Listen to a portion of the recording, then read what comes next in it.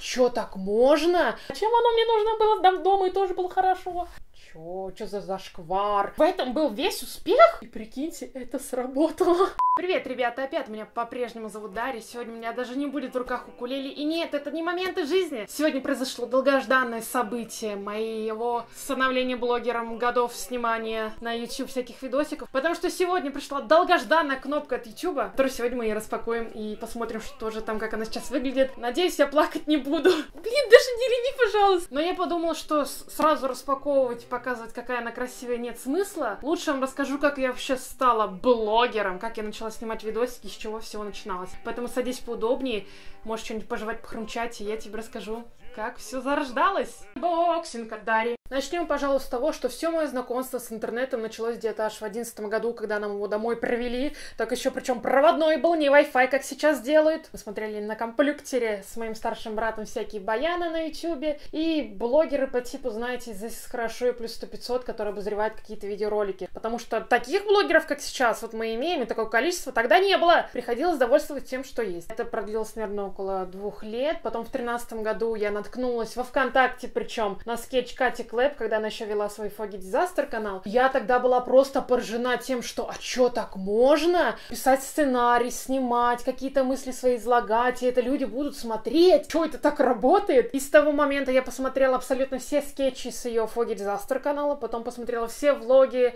и блуперсы за Кейт Клэп, и вот по сей день я считаю, что Катя Клэп это просто действительно богиня русского ютуба, человек настолько предан своему делу, настолько работоспособен, что я прям вау. Я прям поражена, я прям ставлю ей лайк. Катя, если ты сейчас смотришь, ты красотка в моем сердце навсегда. И я все больше и больше думала, я же тоже, наверное, могу быть блогером. Ну, знаете, это не то, чтобы быть блогером популярным, а скорее креативить, снимать что-то свое, делать что-то свое. И вот тогда, в тринадцатом году, я создала свой канал, который вот сейчас на данный момент, это именно он. Тогда он назывался у меня Seven Twix. Не спрашивайте, почему так назывался, у него еще такое оформление было огненное просто а там просто офигевает от моих умений. Ну, фотошопом я тогда не умела пользоваться. Делали все в аватане, на коленке, между прочим. И тогда на этот канал я начала обозревать и делать летсплеи на всякие игры. Причем, вы понимаете, у меня не было камеры, я просто включала Fraps, как-то называлась эта программка, которая записывает экран. И чисто 20 минут без перерывов я вот это все снимала, и потом выгружала все эти гигабайты на канал. А это грузилось еще по несколько дней, я не, даже не преувеличиваю. Действительно, два дня подряд могло грузиться грузится какое-то видео. Я его вообще не монтировала, тупо вот взяла и выложила. Добрый вечер всем, с вами канал SamTwix, и как я обещала, я буду снимать, и сегодня мы будем проходить игру под названием The Plan. Таким образом, я проснимала полгода эти ролики, набрала 100 подписчиков. И для меня это тогда была какая-то отдушина, тем более я любила играть всякие игры, и прям приятно с полезным совместила. Вот у меня был такой каналчик. Родители знали, между прочим, что я снимаю всякие видосы. Причем а, такой момент, почему-то, когда ты говоришь человеку, что ты снимаешь видео на YouTube или ты блогер, все такие, чё, чё за зашквар, зачем ты это делаешь? Ну, по крайней мере, раньше такая была штука. Я не понимала, почему так люди реагируют, потому что это же обычное у человека хобби, у кого-то это работа. Просто это такие же действия, нет ничего в этом криминального. Просто кто-то любит играть в шахматы, там, играть в хоккей, а кто-то снимает видео на YouTube. Боксинг от Дарьи. Потом я что-то забила на этот канал, начала играть в КВН, и это все галопом по Европам время шло, я видосы вообще никакие не снимала. И знаменательный момент. У меня есть подружка Динара, которая занимается фотосессиями, то есть она фотографка у меня. И я как-то к ней пришла в 15 году или 16 точно уже не помню, в гости, и увидела, что у нее штатив стоит около шкафа, и такая, о, давай чисто по приколу снимем видос. То есть это было ради прикола, ради угара, я даже не думала, на что это все повлияет и во что это выльется, но тогда говорю, давай мы просто снимем видос. Он, кстати, на канале у меня открыт, самый первый. Можете посмотреть, я такая-то смешная, прикольная, мне лет 15-16, что ли. Привет, друзья мои дорогие, я запускаю запускаю свой новый бьюти-блог, хотя у меня до этого и не было его. И как настоящая девушка я решила снять свое первое first видео, потому что как же без него? Следите за новостями, подписывайтесь на мой канал, тут должна быть такая фигушечка. Ну, конечно, я ее не посмотрю, я ее забуду. Всем чмоки-поки! В этот же день, когда мы сняли этот видос, я пришла домой, открыла свою программку по монтажу Камстасия видео, кстати. Хорошая программка, если вам нужно что-то склеить, но не для видео на YouTube, чтобы выкладывать. Она лагает, она ни о чем, эта программа, ну вот мое первое видео я там смонтировала, выложила на тот канал Seven Fix, но при этом я его переименовала, теперь он назывался Даша Кирпич. Не кирпич, между прочим, кирпич. И с того момента я поняла, что это мое. Но у меня не было камеры, поэтому я сразу писала несколько сценариев роликов на несколько недель вперед. Приходила в выходные дни к Динаре, потому что у нее был штатив и камера, а у меня было ничего, только энтузиазм. Мы это все снимали с ней. Я очень много тупила. Вот э, болтать на камеру по сценарию для меня до сих пор сложно. Тогда было втройне сложно. Мы могли это по несколько часов снимать, и потом я в течение нескольких недель это видосы все эти выкладывала. Это продлилось, наверное, до 17-18 года, когда мои родители и старший брат подарили мне Nikon D5200, на который до сих пор снимаю, прикиньте. И с тех пор я сама потихонечку начала снимать какие-то видосы. Да, первоначально я хотела снимать всякие скетчи, всякие смешнявки. Но, конечно, на тот момент эти видосы для меня казались смешными и забавными, если сейчас смотреть с нынешним опытом. Но это так глупенько и наивно, но для меня это прям вау, это... Это ностальгия, ребята, это ностальгия. Кстати, такой момент, когда я придумала эти скетчи, я начала вести такую рубрику под названием «Тренер Галя». То есть эту мысль я вынашивала очень давно, когда с подружками мы решили заняться спортом и каждый вечер ходить бегать. Вот с того момента это было очень давно. Вот очень давно было. И на тот момент я решила, что почему бы мне не сделать вот такой вот сериал а спортивный. Кузьма просто отдыхает своими пацанами до Бенка. Вообще просто. У меня был тренер Галя. Сняла всего несколько, наверное, серий, потому что они показались мне однотипными и нет развития персонажей. И я вот на это благополучно забила. Но, между прочим, тренер Галя тоже в моем сердце. Это прям такой персонаж, прям красотка, она красотка. Как же так получилось, что начала снимать видос про укулеле? Ну, тоже достаточно все просто. Вот в этом же как раз 15-16 году, когда я только-только начала вести канал, у меня появилась укулеле, потому что я загорелась прям желанием на ней научиться. До этого у меня, конечно, были попытки научиться играть на гитаре, но я забросила, и я до сих пор не умею играть на гитаре. Ребята, поэтому, пожалуйста, не пишите, умею ли я играть на гитаре. Нет, не умею. Я умею только играть на нервах и на укулеле. Все. Я загорелась желанием играть на укулеле, если уж на гитаре это как-то не пофартануло. И я такая чисто по фану, думаю, у меня только она появилась, думаю, а почему бы мне не снять разбор там на Цой или на Adventure Time на тот момент и сняла. Я играла корявенько, объясняла непонятно, постоянно вот таким вот громким голосом, высоким еще что-то разговаривала, говорила. Разбор на укулеле простых мелодий. Все, чисто по фану сняла этот видос, опять же, да, как вообще начала вести этот канал. Ну и потом как-то пошло-поехало и начала делать разборчики. Но они у меня сначала были 50 на 50 с моими скетчами, а потом уже потихонечку разборы взяли прям все 100%. Боксинг от Дарьи. У меня появилась камера, купила штатив, появилось какое-то более-менее освещение. Ну как могу сказать, освещение появилось? Я просто снимала около окна, на балк около балкона, все, свет горел, была какая-то непонятная некрасивая картинка. Я очень часто, кстати, промахивалась с фокусом, мне постоянно приходилось все перезаписывать. Потом до меня дошло, что на Алиэкспресс можно заказать вот такой вот, как это объяснить, пультик э, дистанционного управления, на который ты нажимаешь кнопочку, у тебя фокусируется камера. Если что, что-нибудь подобное найду на Алике, скину вам ссылку, потом посмотрите, что это такое. Тогда я вообще не знала, что вообще такое существует. Ну а дальше я начала снимать видосы самостоятельно, как-то пытаться практиковаться в этом деле. Единственный какой момент, я могла снять несколько видосов подряд и тут же их выложить, я могла вообще пропасть на две недели, ничего не выкладывать на канал, потом могла вообще пропасть на три недели и ничего не снимать на канал, потом вернуться, как и ни в чем не бывало. То есть я так ля-ля-ля вела вот этот каналец. Джорджик пришел! Какая прелесть! Моя пузичка, не могу над ним. Какой он у меня хороший. Извините, на хомячка отвлеклась. За это время я уже успела поступить в колледж, закончить колледж, а, поработать, между прочим, в IT-парке. У меня был такой момент, где я работала куратором по блогерству, детям рассказывала, как что вообще, из чего состоит блогинг. Кстати, на ту зарплату купил свою вторую камеру, которую я благополучно потом разбила. Вот, кстати, я сейчас чиню, возможно, скоро-скоро мне ее починить, и я буду снимать на вот эту компактную камеру от Canon. Кто со мной давно и смотрит за моими успехами, понимает, что за камера. Но время, конечно же, идет. Даречка закончила учиться в колледже, я переехала потом в Питер, то есть это уже 19 год. Про канал я когда-то вспоминала, когда-то забывала, ну, то есть не было какой-то систематичности. В общем, смотрите, в чем, в чем секрет всех успешных людей в их систематичном труде. То есть они делают это изо дня в день, каждый день, а не так, как вот сделали видео, выложили видео, и все, пропали. Конечно, вы ничего не добьетесь таким образом. Если вы будете, допустим, у вас есть расписание, что вы выкладываете, ну, три, три раза в неделю видос, вот это каждую неделю у вас будет продолжаться, естественно, вы какого-нибудь успеха-то и добьетесь. Ну так вот, заканчиваю я, собственно, учиться в колледже, мои друзья говорят, погнали с нами в Питер, а я такая, ну, давайте. Хотя я вообще не собиралась сюда переезжать. Зачем оно мне нужно было? Там дома и тоже было хорошо. Приехали мы, собственно, в Питер, я поступила на вышку, решила быть взрослой и пойти на работу. Я проработала два месяца в Гринписе фанрайзером. Чтобы вы понимали, что такое фанрайзерство, это человек, который ищет для благотворительного фонда спонсоров, то есть донатеров. Работа очень сложная, она сравнима, наверное, как вот люди сейчас работают, доставки еды курьерами там а в Яндекс, Деливери. Вот такая вот, это была сложная работа, реально. Целый день на ногах. Я подумала, что это не мое, это не мое. Я уволилась, и у меня был такой период, блин, чем себя занять? То есть я не совсем хочу идти работать по образованию своему учителю музыки, да, я закончила на, на учителя музыки, музыке работать.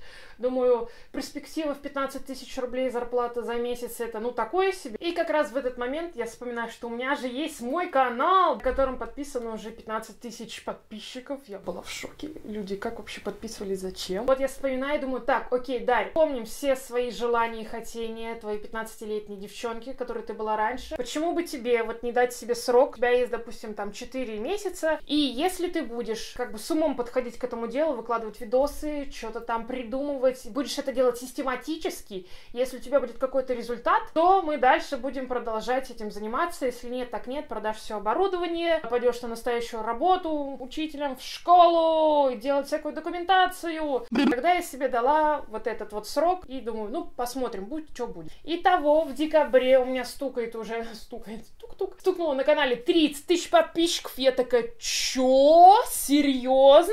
То есть в этом был весь успех? Просто делать каждый раз, а не пропадать? Серьезно? Кому-то я приношу пользу. И вот в январе, как раз вот в этом январе 2020 года, я себе ставлю просто супер-гипер цель. Типа, а почему бы мне за год не собрать 100 тысяч подписчиков на канале? То есть до этого я просто бездумно ради души, ради сердца снимала, но у меня не было какой-то конкретной цели. И тут я себе ставлю цель, когда мне она казалась супер недостижима. Ну чё, как ты за год соберешь 70 тысяч человек на канал? Вы должны понимать, 70 тысяч только благодаря каким-то там или коллаборациям, или систематичным видео. То есть не покупка рекламы. Я не покупала ни разу рекламу канала. Тогда я думаю, ладно, цель звучит недостижимо, но я попробую. И теперь я в каждом разборе начала говорить, что вот, у меня есть цель, если кому нравятся мои видосы, пожалуйста, подпишитесь, я буду очень признательна и рада. И прикиньте, это сработало. Я начала каждый день просыпаюсь, снимаю разборы, монтирую, выкладываю. То есть и это было изо дня в день. У меня уже начала болеть спина, у меня уже, я вот сижу целый день, потом встаю вечером,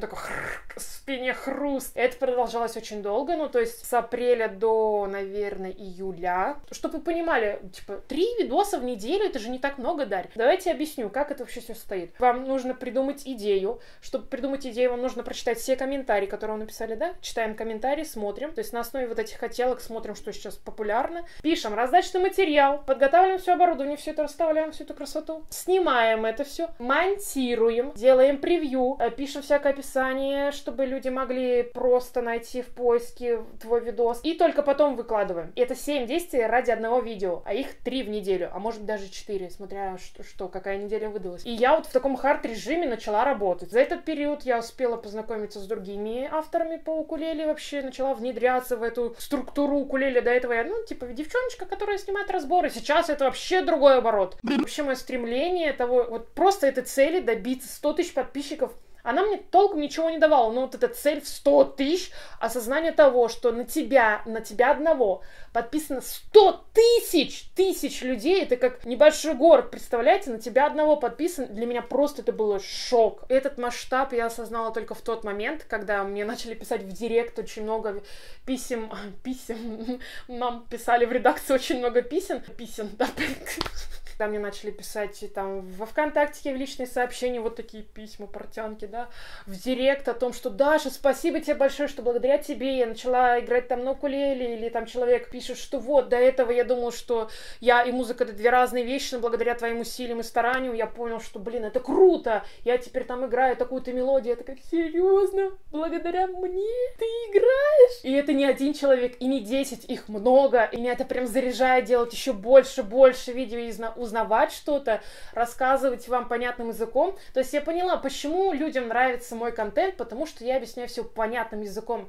Для меня это очень важно. Мне очень важно давать пользу. Мне очень важно, чтобы вам было все понятно из музыкальной терминологии. Именно давать то, что, во-первых, нужно, понятно, и вы можете это применить, да, они вот, есть люди, там, музыканты, ну, они прям музыканты, они прям вот теоретики, да, которые там, доминанты разрешаются туда-то, там, это каданс, вот это все, п п п человек такой с укулеле сидит, а зачем оно мне надо? Вот я не хотела такого делать, поэтому у меня была цель понятным, доступным языком, чтобы человек, который без музыкального образования, понимал и что-то научился играть. И вот потихоньку-потихоньку мысли начали материализоваться, а я вообще сторонница того, что вот то, что ты хочешь, если у тебя это всегда перед глазами маячит, то ты получишь. То есть я в самом начале года сделала доску желания, она у меня всегда вот тут висит на стеночке, я всегда на нее смотрю. Я тогда повесила фотографию кнопки. То есть вот, я хочу за этот год вот эту получить кнопку, вот она у меня будет. Честно, на тот момент я не поняла, зачем она мне нужна. Просто потешить свое эго, что а что это так можно же? Все реально. Все те цели, они реальны. Просто нужно постараться, а не думать, ну да, вот, было бы прикольно, конечно, и при этом ничего не делать. Конечно, ничего не получится, потому что ты ничего не делаешь. Это так работает. Ребята, была секунда мотивации. Если вам надо мотивацию, пф, встань и иди.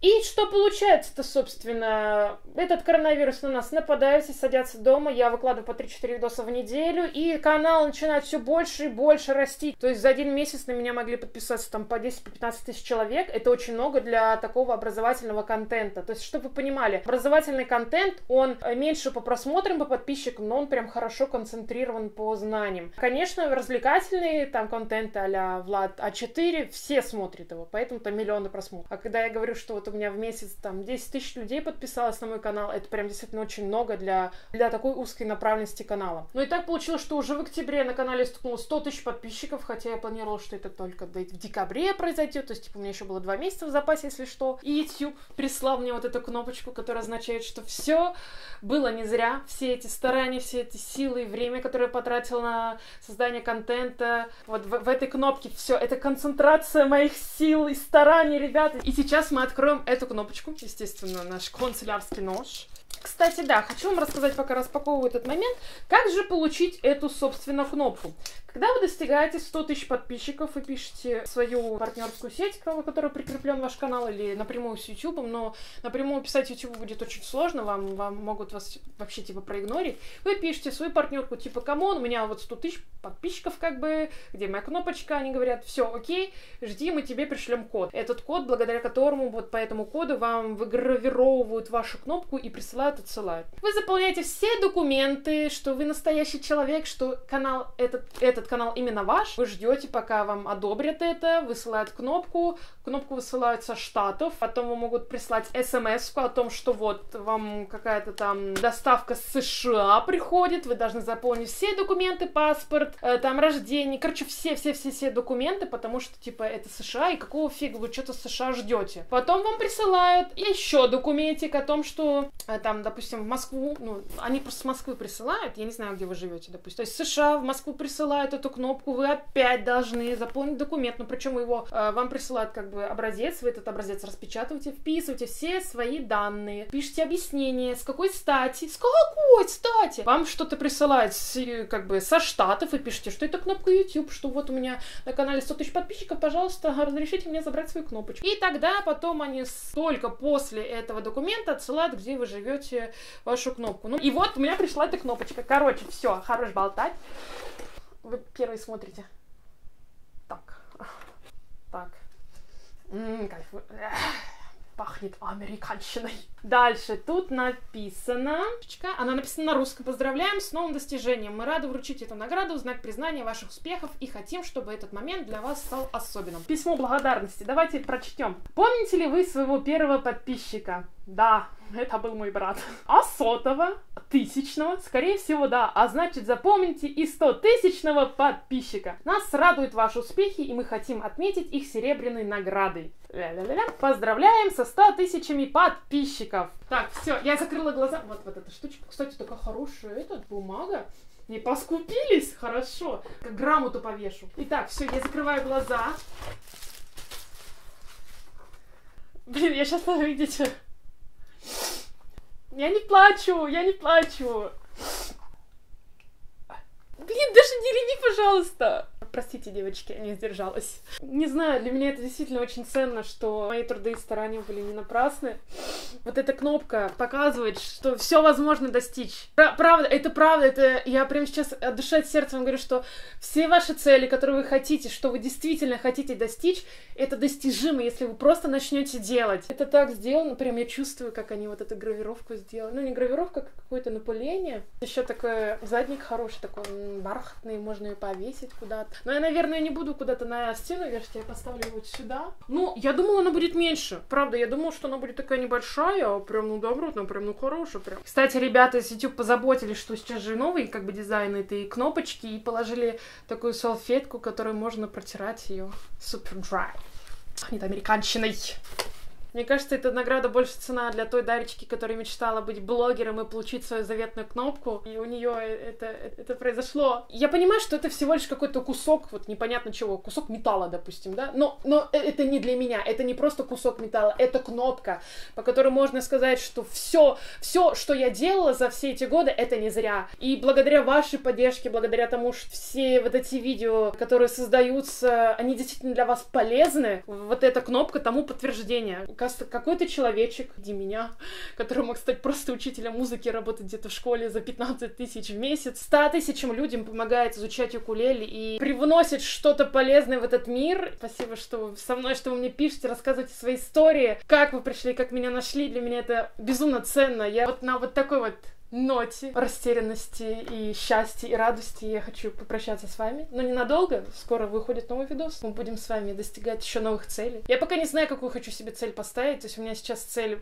больше прокачивать канал. Ну, в плане не по, не по подписчикам, а просто там вот при, на подаче, рассказывать вам всякие истории, рассказывать вам какие-то вещи касаемо укулеле. То есть еще больше прокачивать, а не только разбирать какие-то песенки. Я буду безумно благодарна, если вы поставите лайк этому видео и напишите какой-нибудь добрый радостный комментарий с поздравлением поздравлениями, может быть, или расскажете свою историю, как вы меня нашли, я это все обязательно прочитаю, пролайкаю. Но меня по-прежнему зовут Дарья, которая смогла достичь эту цель, которая шла пять лет. Прикиньте, а вот это так странно, да? Благодаря моей мечте, просто чтобы у меня была эта кнопка, я принесла столько пользы своими действиями. Но меня по-прежнему зовут Дарья. Скоро увидимся. Пока.